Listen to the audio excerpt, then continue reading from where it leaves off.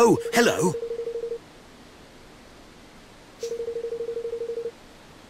Yes.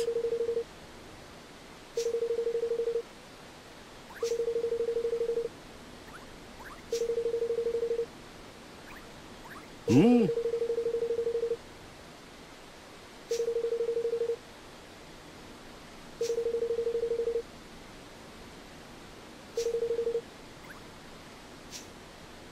Welcome to Swift Solutions.